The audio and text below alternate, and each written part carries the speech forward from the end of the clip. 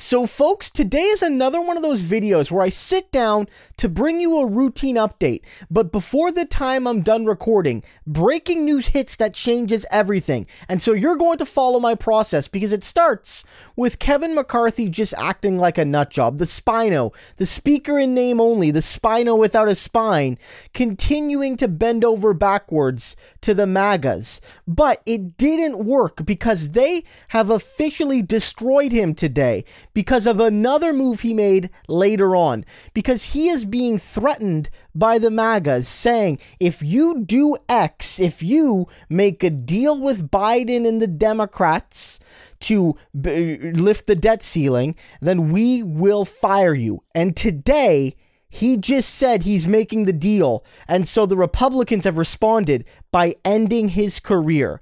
Hit the like and subscribe button because that's where we're going. In addition to the fact that a high profile Republican who just scored an exclusive meeting with Donald Trump has come out and said, exposed, if you will, a high profile affair, at least allegedly, between McCarthy and another top Republican. So it's a whole bunch of stuff's happening. But let's start with the fact that McCarthy is really trying to push the BS narratives around Hunter and Joe. I've never seen a person in elected office use their office like this to have 20 shell companies. You have a to- nine people in the family getting paid after you take certain actions. I remember what has been allocated or uh, uh actually um, uh, accused here is you've got a whistleblower that the FBI still pays that believes heavily in way back years ago said that they are being bribed the Biden family. Mm. But they never did anything with it, the FBI. You got IRS agents who's telling us they got treated differently, that the FBI actually warned Hunter Biden before they wanted to go meet with him. That here we have this Weiss, who is now the special counsel, literally let the statute of limitations run out on the most severe tax problems that the Biden family had, that they did you not disclose $400,000 and now get away with it without paying taxes? Nobody else in America was allowed to do that. And they knowingly allowed that to happen. They warned their attorneys before they would enter to find the papers that he had storage at a storage unit. That's not how they treated President Trump and others. So why is this special treatment here? And why can't we get the documents to prove that you're not being bribed, that you didn't get. So look, this is what he's trying to do. He knows he can't survive without the crazies. And McCarthy understands. Because look, I don't think McCarthy's a genius or even particularly bright, but I don't think he's dumb either. And he knows that the excessive, first of all, any focus, but especially the excessive focus on Hunter and how that affects, or in reality does not at all affect, the presidency of Joe Biden is bad for them politically. It's not resonating. It doesn't matter to Americans. You know, even if Americans don't like Joe Biden, the reason they don't like Joe Biden is either because they're MAGA cultists or, you know, it's it's things like inflation. It's things like, you know, uh, cost of living. It's things like jobs, all of this. And whether or not these things are accurate whether or not the Republicans would do any better. It's like that's what you should be attacking him on. And he continues here. And again, he's only doing it because if he doesn't do it, if he doesn't act like an absolute maniac, he'll get fired. And that's what's happening. Thank you, Maria. Will you bring an impeachment inquiry against President Biden this September? Well, Maria, first you've got to understand only because Republicans took the majority have we found out what President Biden told us when he was running for office is not true. He, he said he never had any dealings with his son's business, and that he never even talked to him. We've now found out not only did he call into the meetings, he went to dinner, and after the dinner, Hunter Biden got a new Porsche, that there was 3.5 million transferred. We now found out as he was a sitting vice president, the family created 20 shell companies. They received 16 of 17 payments from Romania while he was vice president. We now found that the money would flow to nine family members. He has to continue to change this. But since then, we found a movement of his administration of weaponization. We found that now, the uh, special prosecutor, David Weiss, actually let the statute of limitations run out on Hunter Biden's taxes. We found that the FBI actually informed Hunter Biden and the inaugural committee prior to our ability to go and interview him. We also have a DOJ that um, gave us tried to give a sweetheart deal to Hunter Biden, and the judge said no.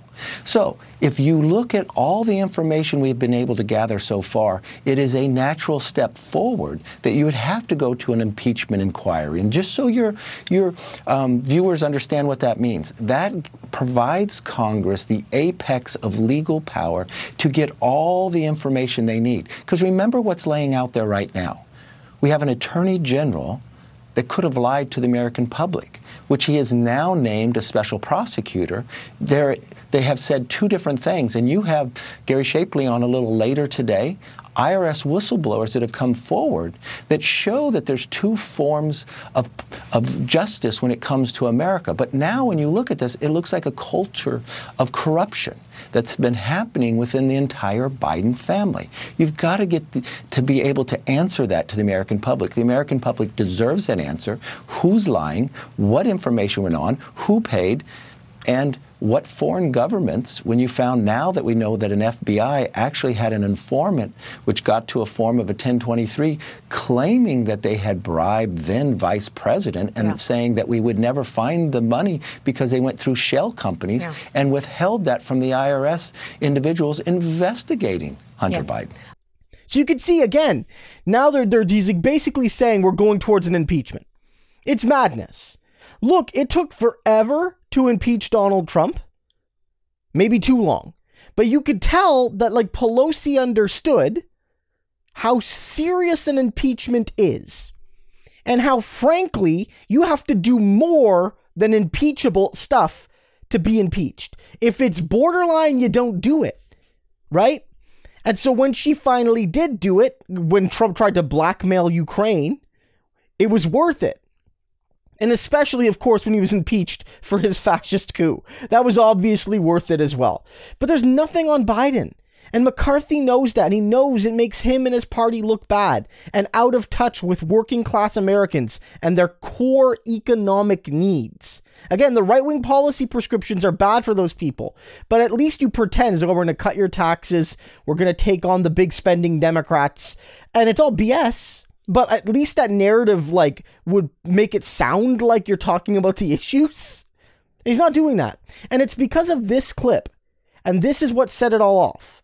McCarthy's going to have to listen to the people on the right, or else he's going to have to rely on the Democrats to pass this. And you know they could do that. They did that with the uh, with the debt ceiling. The more Democrats voted for the debt ceiling than Republicans. They could go down that path again. But I'm telling you, if that happens, I mean, it's it's it's gonna it's gonna be detrimental to uh, to leadership in the House if if they blow off the concerns of the people like myself and Freedom Caucus and some of the other people on the right that are making reasonable demands in this process. It's going to be a problem.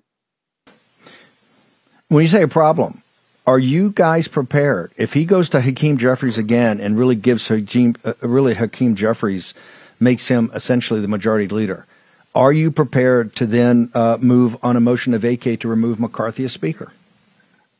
I, Steve, I'm going to be honest with you. I think that, that is, that that's inevitable if, if if we continue to rely on the Democrats to pass these important this this important legislation that's coming out of the House. The American people gave us the House back be it albeit a you know a, a, a, small margin here. They gave us the House back because they want to stop the nonsense that's happening in this country. They want to turn the tide. They want to take this country back. And and giving us the House back was the first step. We have an obligation to the people who put us here to do what needs to be done. So that's Ronny Jackson, former Trump doctor, member of Congress, one of the Freedom Caucus nutbars, and what he's basically saying is McCarthy's dead if he doesn't do what we say. And we want basically no compromise with the Democrats. We want no compromise on giving them a deal. We don't want a short term little deal. We don't want to give them all the money in the world. We want major cuts to essential programs. We want to basically let Ukraine suffer. And there's a whole bunch of demands. I'm not going to legitimize it by going over it, but it's ridiculous. And if Kevin bends even a little bit, it's over for him. And this was reiterated when a top Republican, and again, this lady sounds nuts, but she just had a one on one private meeting with the former president, saying not only that Kevin McCarthy and Marjorie Taylor Greene have something disgusting going on together, but that they're both traitors to the right wing movement side doesn't follow. It's called going along to get along. That's why. That's why. That's why. That's why. That's why Marjorie Traitor Greene, as I like to call her, Marjorie Traitor Greene campaigned on breaking up the establishment. So Remember, she was doing all that hoorah rah. She was not not supporting Kevin McCarthy, and now she's Kevin McCarthy's lapdog. Okay, she's on her knees in Congress every day for Kevin McCarthy as his personal cheerleader. When he screws us over, he screws us over every single day. You can't delete paper. Yeah, maybe Mar- Marjorie Taylor Greene can use my my pillow code Loomer at my pillow so that she can get herself a nice pillow for her knees to place under Kevin McCarthy's desk. How about that? I, I think that's, that's what she needs. Yeah. You know, like she, the imagery she's using is quite uh, graphic and quite accusatory, right? But effectively, what they're saying is both of them are traitors. Like in Marjorie more so because I guess she never thought Kevin was part of the team, but maybe Marjorie was. She's Marjorie Traitor Greene and all of that. But this is where Kevin ends it. It's over. The Freedom Caucus made a, th- a demand that you're fired if you do this, and he just did this. So I would actually like to have a short-term CR only to make our argument stronger. Because, Maria, if we shut down, all of government shuts it down, investigation and everything else, it hurts the American public.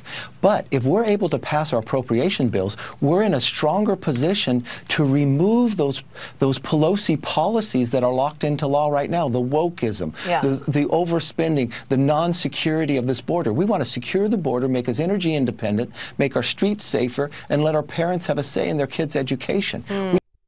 That was him just earlier saying he wants to make a deal. And now his argument, and he's trying to sweeten it up for the Freedom Caucus, is well, I want to make a deal because if we don't make a deal, then we can't investigate Hunter. There's you can't do it if, if everything shuts down, then like everything shuts down, including the things we want to do. But like he knows he's just covering a, a you know a, a, a piece of dirt and icing and trying to feed it to the Freedom Caucus. That's not what they want. He wants to make a deal because he knows that politically it's disastrous beyond the MAGA base for another shutdown. He knows it's disastrous and that his party will be blamed. But it's over now they like look, got to take him at her word, right? Freedom Caucus said, "We'll fire you if you do this." He just did this. Kevin's getting fired.